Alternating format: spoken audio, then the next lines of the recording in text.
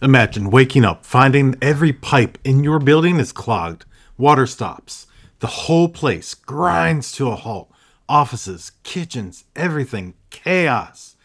That's exactly what happens to companies when their data pipelines break.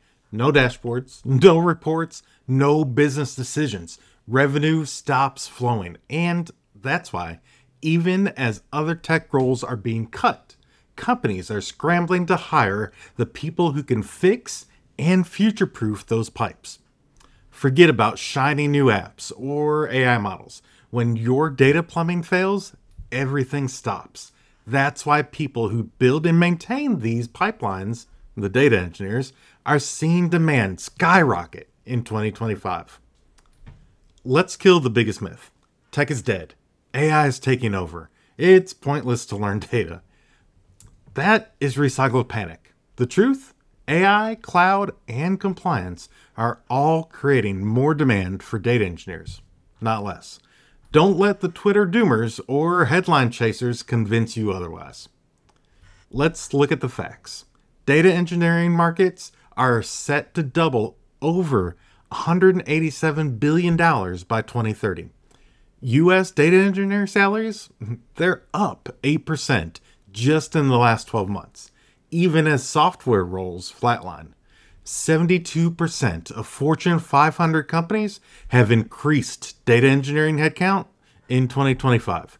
Sectors like healthcare, logistics, and finance are hiring data engineers twice as fast as software developers. You don't cut back on plumbers during a housing boom. You double down. Same goes for data engineers. Let's make it real. A friend of mine works at a global logistics company. The CEO wanted predictive AI for shipping times, but data pipelines, they they were a mess. Who saved the project? Not the data scientists.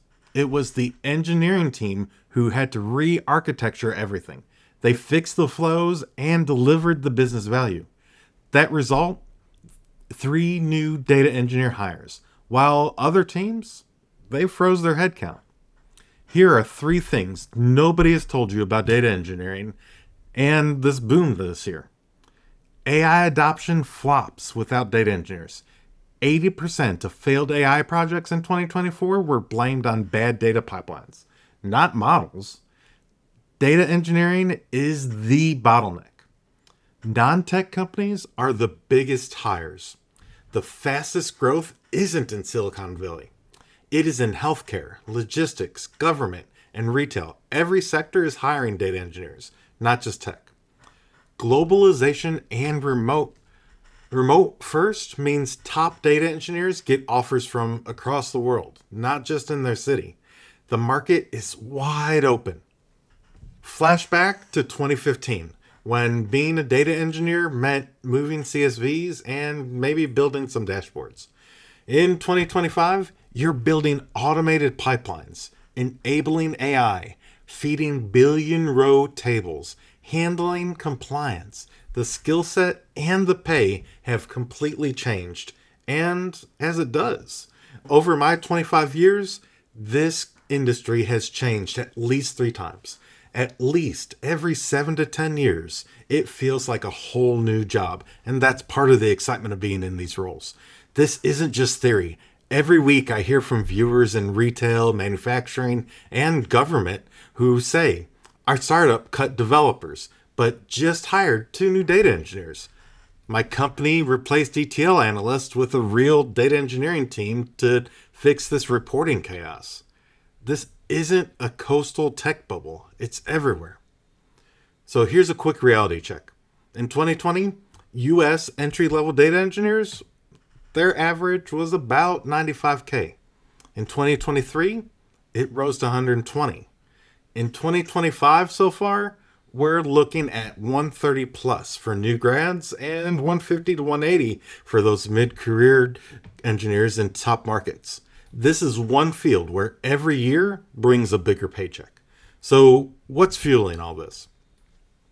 There's a handful of reasons. One, the AI gold rush. Every new model or dashboard needs cleaner, faster pipelines. Cloud modernization companies are tearing out old on prem systems and rebuilding the cloud. Every migration needs engineers. Compliance. New laws mean new pressure to do data right, not just fast. There's skill gaps out there. There just aren't enough real, educated, and experienced data engineers to go around. If you're building the roads, you always have work. If you're just riding along, you're replaceable. The people building data infrastructure are the ones powering everything AI, analytics, real time insights, and so much more. Bottom line here data engineering is the best kept secret in tech right now. If you're already in, you're ahead of the curve. If you're not, the door is pretty much wide open and the party is only getting bigger. What's the biggest myth you've learned about data? Are you seeing hiring in your industry or are you seeing layoffs? I want to feature real comments and stories in my next video, so be sure to drop your stories below and join in the conversation. And if you want to ride the wave and not just watch it, be sure to check out this video here that walks you through all the skills and tools that you need to learn to break into data engineering today.